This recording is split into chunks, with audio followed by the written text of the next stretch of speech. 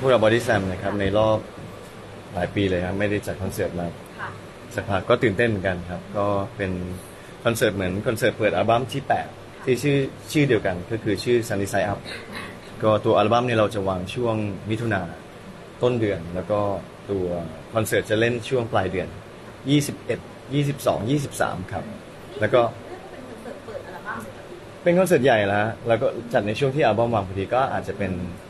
ได้ถือโอกาสไปทีเดียวเลยใช่เป็นเป็นเปิดอัลบั้มด้วยแล้วก็เป็นคอนเสิร์ตใหญ่ของวงด้วย ที่มักจะทำตอนเปิดอัลบั้มอยู่แล้วเ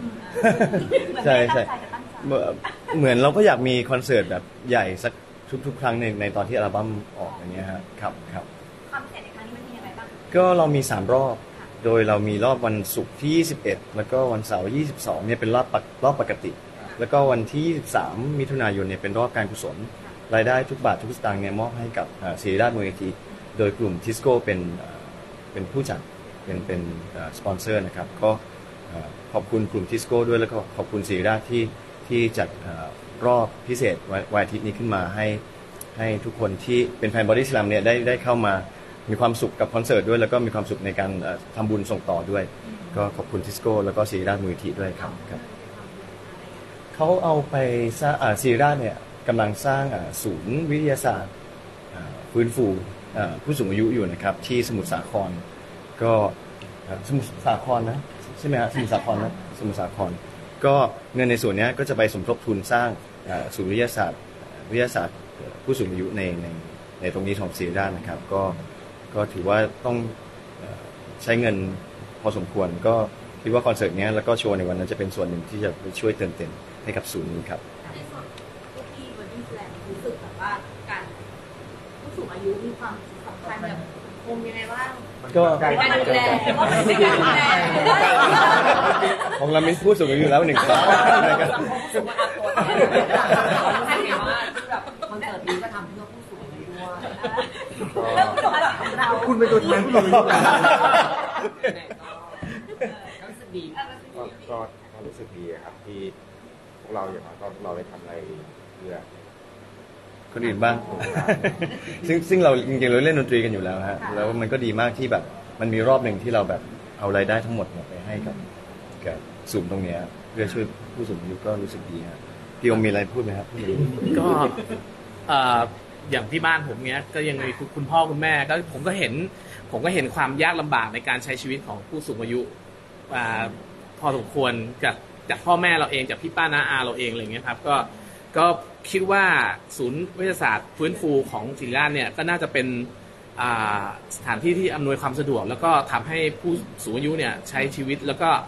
อ่าฟื้นฟูร่างกายได้ได้ได้ดีขึ้นครับ คือเท่าที่ทราบมาเป็นไม่ใช่เป็นศูนย์ที่แบบเอาผู้สูงอายุไปไปไปไว้ตรงนั้นนะแต่ว่าเป็นเหมือนสอนวิธีการใช้ชีวิต ไปสอนวิธีการกลับมาใช้ชีวิตปกติในในในในสังคมปัจจุบันไม่ได้ ไม่ได้เป็นศูนย์แบบพักพิงแบบช่วงแบบถาวรอะไรเงี้ย ซึ่งตรงนี้ดีมากเลยนะครับแบบคือการไปเข้าไปแล้วก็เรียนรู้ที่จะใช้ชีวิตออกออกมาอย่างมีคุณภาพในในสังคมจริงๆผมเหมือว่านเราเป็นเหมือนเราก็ไม่ได้รักเลยกลุ่มคน เพราะว่าจริงๆเมืองไทยตอนนี้กลุ่มผู้สูงอายุอยู่ในจัดมากกลุ่มผู้สูงอายุครับครับครับเห็นคุณค่าครับที่ครับต้องดูแลครับ ครับใช่ใช่คนไปดูอาจจะได้ใช้บริการในอนาคตทุกคนเลยครับทุกคนเลยนี่นะคนเล่นนะคนเล่นใช่แล้วพวกเรานี่แหละอีกสองรอบก็คือฝากฝากตอนนี้ค่ะบัตรโอเคครับ ก็ฝากประชาสัมพันธ์เนาะสำหรับคอนเสิร์ตใหญ่ของ Body Slam ก็ไม่ได้มีกันบ่อยๆนะฮะก็อยากจะเชิญชวนนะครับแฟนๆ Body Slam นะครับทุกๆท่านนะครับ ไม่ว่าจะอยู่ที่ไหนก็แล้วแต่นะครับ 21 22 23 มิถุนายนนี้นะครับ ที่ Impact Arena นะครับ ก็เอ่อเรามาเจอกันที่เอ่อ The Sunny Side Up The Sunny Side Up Live เอ่อคอนเสิร์ตใหญ่ของพวกเรานะครับ ก็จำหน่ายบัตรในวันที่ 3 พฤษภาคม 3 พฤษภาคมก็เอ่อที่แอปพลิเคชัน The Concert คอนเสิร์ตครับ แอปพลิเคชันของ The Concert นะครับ ก็เอ่อสำหรับใครที่เป็นนักจองนะฮะที่แบบ กดก็นักกดบัตรอะไรเงี้ยก็ขอให้โชคดีแล้วก็ขอให้จองบัตรได้ที่นั่งอย่างที่ตั้งเอ่อตั้งใจไว้ทุกๆท่านนะครับ แล้วเจอกัน คนที่ไม่ได้เล่นที่อินแพคนะมานานเท่าไหร่แล้วคะประมาณสี่ช่วงช่วงที่นับหนึ่งถึงเจ็ดใช่นั้นนั้นหนึ่งถึงเจ็ดนับหนึ่งอันนั้นก็เป็นถึงเจ็ดคอนเสิร์ตของตอนนั้นปี 2020 หกสามใช่ไหมครับก็สี่ปีพอดีปีนี้หกเจ็ดประมาณสี่อ่าปีครับสี่ปีประมาณสี่ปีครับ ช่วงช่วงก่อนสี่โคปีวิดกว่าๆนิด ครับ สันกลับมาครั้งนี้ด้วยความโปสเตอร์แบบสีไม่รุ่นมากเลยอะค่ะมันจะเป็นมันยังไงแบบแบบว่าเธอไปรุ่นค่ะคันเลิฟสีฟูชมพูอะไรเธอเงี้ยเธอไปรุ่นค่ะทำไมถึงแบบคันเลิฟฟูขนาดนี้หรือว่าคอนหเสิรืร์อตว่าเดอะซันนี่คะไฟจริง ๆ มันมันสีของโปสเตอร์เรามันล้อกับเอ่อตัวหน้าปกของอัลบั้มใหม่ด้วยครับที่ทุกคนจะได้เห็นต่อไปมันมันเหมือนแบบเป็นเรื่องราวเดียวกันแปลว่าแบบอัลบั้มใหม่ค่อนข้างมีสีสัน มีความฉูดฉาดก็มีมีมีมีความสีสันอยู่ในนั้นครับอย่างเช่นอะไรบ้างคะเพราะแบบว่าโดยปกติสิ่งที่จะเห็นจากวันที่แสดงก็จะเป็นดำๆใช่ดำๆแบบนี้เออแล้วอัลบั้มนี้จะสีสันขนาดไหนอะพี่จริง ๆ แล้วอยากให้ไม่ไม่ได้เฉพาะหน้าปกที่มันจะมีสีสันมากขึ้นหรือแบบตัว artwork นะฮะจริงๆแล้วตัวเพลงข้างในมันก็จะมีสีที่มัน มันไม่ได้ดำแบบมึนแบบเนี้ยครับแบบมันก็จะมีความสดใสวัยของคุณพ่อลูกหนึ่ง คุณพ่อลูกสองหรือแบบคุณพ่อไม่มีลูกก็ตามอะไรเงี้ยก็ๆหรือเจ้าบ่าวเจ้าบ่าวใหม่เนี่ยกำลังจะแซวกันเลยว่าเขาไปมีกันหมดแล้วพี่ชายคือเหงาแย่ไม่เหงาแล้วใกล้ใกล้แล้วแล้วเหรอคะใกล้อะไรใกล้อะไร รายการแต่งหญิง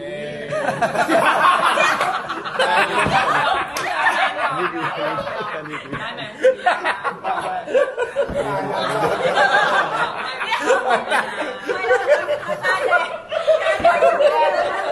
ไปแล้วนะไปแล้วนะแต่ว่ามันคือการสดใสแหละกับอัลบั้มนี้พวกเราคิดถึงบรรยากาศแบบนี้ค่ะบรรยากาศอินแพคบรรยากาศที่แบบแฟนคนสิร์ตใหญ่นะครับ ใช่จริงๆคิดถึงมากนะครับก็คือเราเราใช้ชื่อเอ่อคอนเสิร์ตข้างบนว่า Everybody Slam Everybody Slam เนี่ยก็คือคอนเสิร์ตใหญ่ครั้งแรกของวง Body Slam ที่ Impact อ่าเมื่อ 16 ปีที่แล้ว ซึ่งมันเป็นแบบเหมือน Impact มันเป็นเหมือนสถานที่แบบสมมติวงที่ที่พอที่จะแบบมีมีชื่อเสียงหรือมีเพลงที่คนคนรู้จักเนี่ยถ้าได้ไปเล่นที่ Impact แล้วบัตรโซเอาหรืออะไรก็ตามอะไรเงี้ยมันก็จะเหมือนเป็นหมุดไมล์อีกอีกขั้นหนึ่งของวงอะไรเงี้ยแล้วตอนนั้นเรามีโอกาสได้เล่นที่ Impact ในอัลบั้มของ Save My Life Save My Life ตอนตอนตอนรู้สึกจะปิดอัลบั้ม Save My Lifeเราได้เล่นที่ Impact เป็นคอนเสิร์ตใหญ่ครั้งแรกตื่นเต้นมากเราก็เลยรู้สึกว่าเอออยากเอาความตื่นเต้นเนี้ยพกมาในคอนเสิร์ตครั้งนี้ด้วย เพราะว่าเราก็เหมือนตอนนี้เป็นเหมือนวงใหม่เนาะเป็นเหมือนวงใหม่เป็นเป็นเหมือนวงใหม่เราอยากรู้สึกแบบตื่นเต้นกับกับบรรยากาศ Impact อีกครั้งหนึ่ง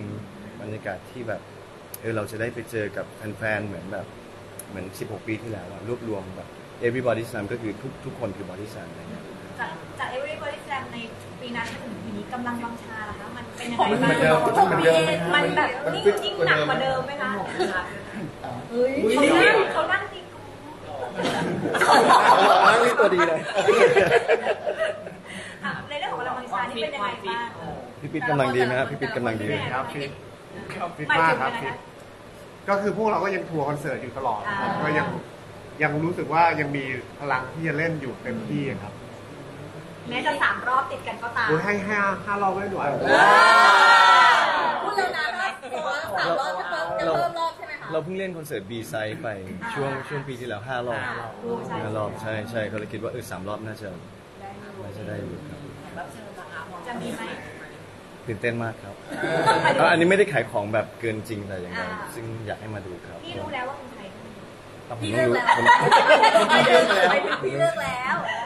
มันคือในอัลบั้มใหม่อัลบั้มที่8 Sunny Side Up เนี่ยก็จะมีเพลงที่มี featuring ด้วยนอกจากเพลงที่มีโจอี้ภูวสิทธิ์มาประกอบการผีเสื้อที่คนได้ยินไปก็จะมีอีกสองสามเพลงที่มีครับที่มีโปรเจกต์พิเศษกับทางพี่กอล์ฟกับ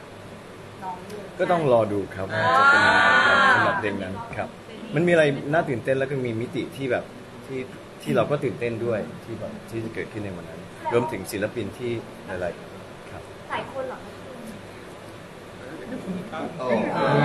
ใครเหรอคะแต่ว่า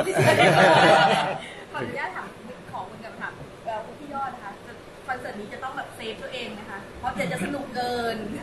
จริงๆแล้วที่อย่างที่บอกว่าเราเรายังฟิตเต็มที่แต่ว่าตอนนี้มันมีเรื่องที่เราต้องดูแลด้วยอ่าพวกพวกคอคืออะไรเงี้ยครับ อ่า เราจะใส่ไปเหมือนตอนวัยรุ่นตอนนั้นใส่เต็ม ตอนเนี้ยคือมันต้องดูแลตรงนี้ด้วยอ่า เพื่อเพื่อว่าเพื่อสามรอบจะได้ให้สุดจริงเออคือรอบสามนี่คือขไปหลุดทุกรอบครับ เออแสดงว่าท่าตัดผมมันจะเปลี่ยนไปจากแต่ก่อนที่เราเคยเห็นกันที่เต็มที่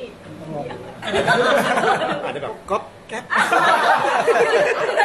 ไม่ใช่เสียงกลองคุณชัน ก๊อปแก๊ปก๊อปแก๊ปจริงก็ดู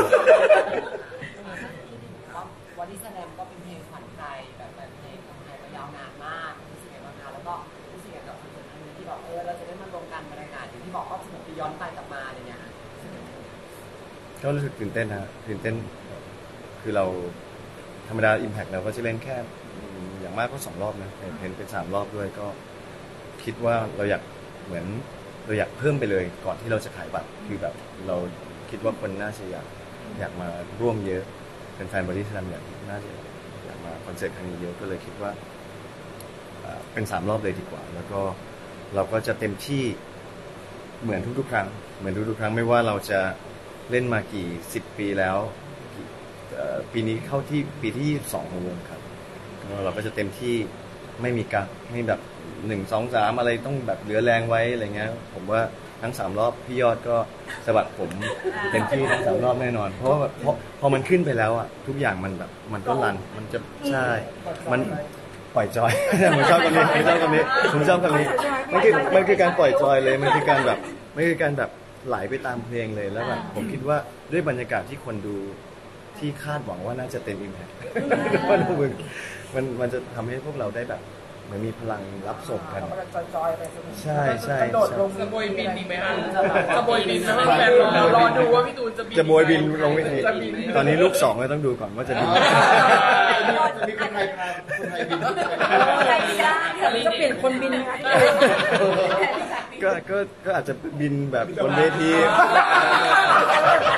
เอาได้ไม่มีบินจะไปบินจะบินบินบาทอันนี้คนละบินอันนี้โปรโมทซีรีส์ซะงั้นโปรโมทซีรีส์จำเพลงจำเพลงนะคะเขาก็เพลงนี้แล้วแค่ไหนพี่อัลบั้มใหม่ก็โอ้ปล่อยด้วยตอนนี้ที่ที่ที่เราที่เราวางเอาไว้น่าจะไม่น้อยกว่าครั้งที่แล้วที่เราเล่นอินแพกเนี่ยคือ 30 กว่าเพลงแบบ ตัดไม่ลงจริงๆครับแบบเกือบ40เพลงแล้วตอนเนี้ยที่จะเล่น ซึ่งก็น่าจะประมาณคุ้มอะฮะประมาณ3ชั่วสามชั่วสี่ชั่วโมงน่าน่าจะมีครับครับ คือมันตัดไม่ลงเพราะเราเรียงเพลง คือเราจะมี 8 อัลบั้มใช่ไหมฮะแล้วเราก็นั่งลิสต์ว่าเพลงต้องเล่นต้องเล่น เฉพาะเพลงที่ต้องเล่นนะฮะ มันก็ประมาณแบบเกือบ40 เพลงแล้วครับชั่วโมงครับที่คอนเสิร์ตประมาณน่าน่าจะมีต่อให้มันจะเหนื่อยเป็นนะน่าจะมีสี่ชั่วโมงแน่ๆน่าจะมีประมาณเนี้ยฮะคิดสี่ไว้ชั่วโมงคิดไว้ว่าอยากแบบประมาณกี่ชั่วโมงคะที่ที่ต่อรอบต่อรอบประมาณสี่ชั่วโมงครับประมาณสี่ชั่วโมงบวกลบพี่โทรคุยกับทางอินแพคนะว่าต่อได้นะครับในอัลบั้มเนี้ยค่ะที่เมื่อกี้บอกว่ามีสีสันเพราะเอ็มวีตัวล่าสุดมี สีสันจัดจ้านมากกับการแสดงของนักแสดงทั้งห้าท่านจริงๆตอนมีนักแสดงแหละเออไม่มันไม่ได้เล่นอะไรมันเป็นตัวเองครับอุ้ยพวกพี่เป็นขนาดนั้นเลยเหรอถ่ายเจอครูเหรอจริงๆมันเป็นความตั้งใจเพราะว่าอันนี้จะกะจะเล่นเองแล้วอะไรอย่างเงี้ย ใช่ก็คือเพลงเนี้ยมันมันชื่อเข้าสังคมนะมันมันเปิดโอกาสให้เราได้ทำอะไรแบบหลุดๆสนุกสนุกบ้างอะไรเงี้ย เราก็เลยคิดไอเดียว่าแบบเออเราน่าจะแบบคือเข้าสังคมมันคือการไป ไปข้างนอกเนาะไปปาร์ตี้ไปไปไปเจอคนเอ่อในในที่ต่างๆ ในในจังหวะเวลาที่แบบบางทีเราเข้าคำว่าเข้าสังคมมันมีแบบบางทีไม่อยากไปแต่แบบจำเป็นต้องไป อะไรอย่างเงี้ยแบบเออมันมันเปิดโอกาสพื้นที่ให้เราได้คิดอะไรสนุกๆก็เลยมาแชร์กันว่าเออถ้ามันเป็นแบบนี้แบบนี้พี่ๆเป็นยังไงไหวไหมอะไรเงี้ยก็ก็สรุปว่าเป็นคน อก็ย่างอยากที่เห็จะนเป็นดาราอย่างที่เห็นแล้ววันนี้แสดงไม่ได้โปรโมทเนาะครับครับครับแล้วพอเห็นการแสดงตัวเองแล้วที่ว่าควรจะมี MV ตัวต่อไปที่เรามาเล่นกันอีกไหมคะหรือว่ายังไงดีหรือจะไปเล่นละครที่ภาพยนตร์นะคะอันนี้เขาเล่นเขาเล่นอยู่แล้วเขาเล่นอยู่แล้ววายเลยครับโอ้โหวายพวงว่าพวงให้คะแนน ให้คะแนนการเป็นนักแสดงของตัวเองกันเท่าไหร่เป็นไงสมุนให้พี่ชัดเต็มสิบตลอดแตกมาแล้วตลอดต้องบอกว่าพี่ชัดเงียบๆหน่อยนะชอบไหมคะเพราะว่าโดยปกติไม่ค่อยได้เห็นลูกพี่มามา เล่เล่นนเต็มๆแบบนี้แล้แล้ววเป็เป็นนไลไลฟ์ซิงค์อะไรอย่างเงี้ย คือวันนั้นมันไม่ได้แสดงครับ บทที่เล่นมันคือบทที่เราเคยเป็นอย่างนั้นมาอยู่แล้ว ตัวจริง ตัวจริงครับโอ้โห คือคือแต่ก่อนเราก็มีชีวิตแบบว่าเล่นคอนเสิร์ตเสร็จแล้วก็ปาร์ตี้กันอะไรอย่างเงี้ยมันก็แค่เอา character ตรงนั้นกลับมาอะไรเงี้ยมันก็เลยแบบดูแบบเป็นตัวเองมาก มันไม่ได้เล่นอะไรใช่ครับใช่ ชอบไหมคะอยาก MV ตัวต่อไปเป็นต้องเล่นเองดองก็ดีนะก็สนุกดีนะครับ สนุกสนุกครับสนุก พี่อมยิ้มอย่างเดียวเลยอะชอบสนุกดีครับค่ะถามถึงครอบครัวให้กำลังใจนะคะคุณพ่อลูกสองอะไรอย่างเงี้ยคุณพ่อลูกสองคุณพ่อลูกหนึ่งคุณเอ่พ่ออคุณพ่อคุณพ่อยังไม่มีลูกคุณพ่อไม่มีลูกคุณพ่อลูกสองเยอะที่สุดค่ะครอบครัวแบบว่าไงบ้างคะในการแบบก็ก็จริงๆก็เขาก็ให้กำลังใจปกติอยู่แล้วนะทุกวันอยู่แล้วนะคือก็เราเองกลับไปก็เจอลูกเจอภรรยาก็หายเหนื่อยเวลาเราครับแล้ว เขาก็กำลังน่ารักด้วยกำลังโตกำลังแบบพูดผิดพูดถูกอะไรเงี้ย มาพามาเจอลุงลุงบ้างอะไรบ้าง ก็โดนลุงแกล้งไปบ้างอะไรเงี้ยก็ก็เป็นเป็นชีวิตที่ที่ ผมว่าก็มีความสุขกำลังกำลังพอดีกับเรื่องงานเรื่องคอนเสิร์ตแล้วก็เรื่องครอบครัวแล้วก็เรื่องการที่เราย้ายบ้านไปภูเก็ต มันก็เริ่มที่จะเข้าที่เข้าทางนะฮะ balance ชีวิตได้ได้ดีเลยใช่ไหมกับก็การเดินทางไปกับ ใช่ฮะแต่ช่วงนี้งานเยอะนิดหนึ่งก็เลยก็เลยอาจจะแบบบางทีเราอาจจะพาเขามาขึ้นมาบ้างกับเราบ้างอย่างเงี้ยผมอยากเลือกที่ให้ครอบครัวอยู่ได้ ไม่รู้เราก็คิดว่ามันมันดีสำหรับเขานะสภาพแวดล้อมเรื่องธรรมชาติเรื่องการการเรียนหรือการเดินทางอะไรเงี้ยเราก็อยู่กรุงเทพมานานแล้วเราก็เห็นว่าเออมันมันก็มีรถติดหรืออะไรเงี้ยเราก็อยากให้ให้ถ้าเราเลือกได้นะ เลือกที่ดีที่สุดให้เขา คนก็เลยจะแซวพี่ตูนสรุปตัวเป็นคนที่ไหน ผมไปไปเรื่อยเลยครับ ผมชอบเดินทาง ผมชอบเดินทาง ผมชอบ ผมชอบการเปลี่ยนถิ่นที่อยู่อาศัย มันทำให้มันเหมือนเติบโตขึ้นอะเหมือนเหมือนเหมือนผีเสื้อ ตอนแรกมันก็เป็นหนอนเป็นดักแด้เป็นอะไรเงี้ย พอมันเปลี่ยนมันลอกคราบมันเดินทางมันมีปีกมันโบยบินของมันเองผมว่ามันทุกการเปลี่ยนถิ่นที่อยู่อาศัยมัน มันทำให้เราโตขึ้น มันทำให้เราเรียนรู้สิ่งใหม่ มันทำให้เราสนุกขึ้น ผมก็เลยคิดว่าผมติด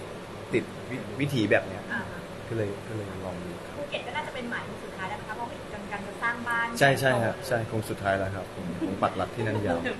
ครับแล้วก็ให้ลูกได้ได้โตที่นั่นครับถามคุณพ่อลูกหนึ่งเวลาไปทัวร์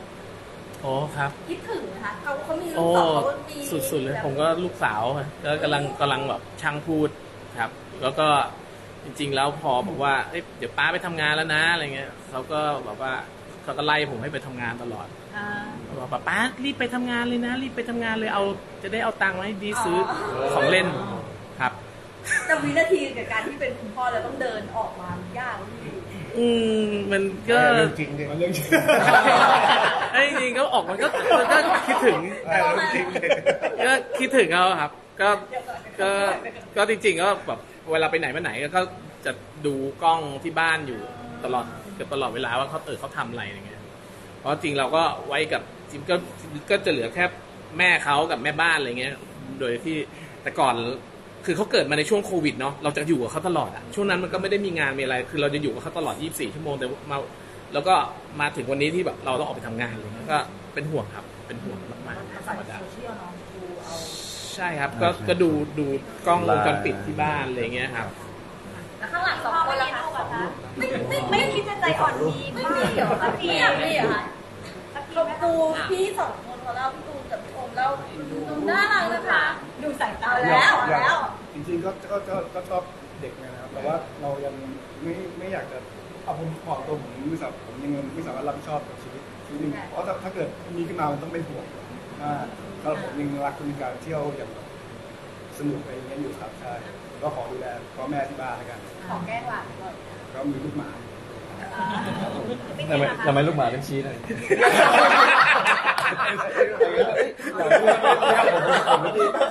ี่ต้องการไงนี่ไงเป็นไงล่ะคะยังไงบ้างกับคเรื่องล้ายๆพี่ยอดครับ ก็ยังมีโปรเจกต์ในนู่นนี่นั่นก็เลยแบบว่ายังสนุกกับโปรเจกต์เพลง แล้วมันก็ล่วงเลยมาถึงตอนนี้แล้วก็ผมว่ายังอายุเราก็ไม่น่าจะมีแล้วครับครับอันนี้คือตัดใจแล้วเหรอคะสักพักแล้วครับ ก็ตัดสินใจว่าไม่ไม่มีลูกอะอะมีชาร์จจริงไหมคะจะแต่งงานทำไมต้องทำช็อตนี้จริงไหมคะขออนุญาตถามจริงเหรอครับพี่ชาเสียงพี่แจ็คคือแบบไหนพี่ชาเร็วๆนี้เลยปีมังกรถ้าไม่มีน้องปีปีนี้แหละครับปีนี้ยังไงคะขอ ก็ยังไม่มีลูกครับยังไม่มีลูกขอขอขอ รีบรีบบอกก่อนรีบบอกก่อนแต่งก่อนเนาะแต่งก่อนยังไม่รีบมีครับบอกก็ก็เป็นลูกของเพื่อนเนี่ยแหละครับเพื่อนก็เป็นผู้ปกครองเนี่ยแหละไม่มีแล้วสิคะคุณโสดอ่าโสดเป็นคนแรกพี่ตูนถามถึงเรื่องที่ฟิวแบบเวลาคนไปส่งรูปที่ดูฟิวครับหลายๆคนเขาก็จะมีช็อตที่ต้องแบบตาหลายห่วงเรามีฟิวนั้นบ้างไหมแล้วเราต้องไปส่งอะไรอย่างเงี้ยก็ก็ก็มีนะฮะคือคือเราช่วงสองอาทิตย์แรกเนี่ยเราต้องไปอยู่กับเขา เราต้องไปอยู่กับเขาแล้วก็เขาก็จะแบบยังงอแงอยู่ยังไม่อยากไปโรงเรียนยังแบบยังอยากอยู่กับเราอยากอยากพ่อกับแม่อยู่ด้วยนะอะไรเงี้ย ก็ก็เราก็เราไม่ได้ร้องไห้หรอกครับ เพราะเราอยู่กับเขาแล้วก็แบบคอยปลอบเขาคุณครูก็ใจดีให้เราอยู่ด้วย แต่พอช่วงที่เขาอยู่ได้แล้วเนี่ย ตอนเนี้ยพี่ดราม่าเลยไปคือไปส่งล่าสุดก็คือไปตอนไปรับล่าสุดเนี่ย ไม่กลับ ไม่ได้ไม่กลับบ้าน ไม่กลับบ้านครับไม่กลับบ้านเหมือนกัน ไม่กลับบ้าน จะอยู่โรงเรียนไม่กลับบ้านไอ้ตรงเนี้ยพอร้องไห้ตรงนี้แบบอ้าวแล้วทำไมมันทำไมมันเร็วจังแบบคุณครูเขาบอกว่าบางคนนี่ร้องไห้เป็นเดือนเลยกว่าจะแบบอยู่โรงเรียนได้แต่ของเราแบบสองอาทิตย์ไม่กลับบ้านแล้วแล้วบอกเราได้ไงคะบอกว่ากลับทะเลยังไงลูกก็ต้องอุ้มครับต้องลากกันกลับต้องลากกลับบ้านก็แล้ก็วเขาก็กลับตัวได้เร็วปรับเร็วฮะปรับเร็วฮะก็คือเราก็แบบพยายามให้เขาได้อยู่กับ คือเขาสองขวบจะครึ่งอะไรเงี้ยเราอยากให้เขาได้ได้เจอคนเร็วๆได้แบบพัฒนาตัวเองเร็วๆไม่รู้ก็เป็นความคิดของผมเนาะไม่รู้ถูกหรือผิดน้องแววจะเป็นศิลปินหรือเป็นนักกีฬาคิดว่าคุณพ่อคือเขาร้องเพลงทั้งวันจริงๆนะเขาร้องเพลงทั้งวันจริงๆฮะแล้วเขาสมมติแบบทำนองเป็นเพลง Happy Birthday อะไรเงี้ยแต่เขาก็จะเปลี่ยนเนื้อไปเรื่อยเลยใช่ใช่แบบเหมือนแบบผมสังเกตผมสังเกตใช่ใช่เขาแต่งเขาแต่งเขาแต่งเพลงแต่เด็กเลยฮะแล้วก็แบบ ใส่เนื้อแบบใหม่ ๆ เข้าไปในทำนองที่แบบที่เขาได้ยินอะทำนองเพลง Views on the Bus ทำนองเพลง Baby Shark อะไรเงี้ย แต่ก็แต่ก็เปลี่แต่ยนก็ใส่เนื้อใหม่เปลี่ยนเนื้อใหม่ในทำนองนั้นอะไรเงี้ยมาทำกันสิน่าจะมีลิขสิทธิ์ทำนองอยู่นะแต่เนื้อใหม่ครับใช่ใช่แล้วก็ก็ก็คือคือตอนตอนเขาท้องอะเราเปิดเพลงให้เขาไอ้ยตอนตอนก้อยก้อยท้องอะเราเปิดเพลงให้เขาแล้วก็ตอนที่เขาเกิดมาเราก็เล่นกีตาร์อะไรให้ เขาก็ฟังเพลงตลอดเวลาเขาจะซึมซับครับเนาะขอบคุณค่ะขอบคุณมากที่มาด้วยครับขอบคุณมากมากๆเลยครับขอบคุณมากมากๆเลยครับขอบคุณมากเลยครับเล่นเจนานๆได้เลยได้เลยดีถ่ายรูปก่อนพี่หรอขอบคุณมากมากๆเลยครับอะอะบ้างไหนก่อนเอาบ้างหนูก่อนบ้างหนูก่อนแรงเหมือนกันทางนู้นก่อนค่ะทางนู้นก่อนอย่าลืมชวนหนูนะพี่ชายได้เลยค่ะข้อมูลนะคะ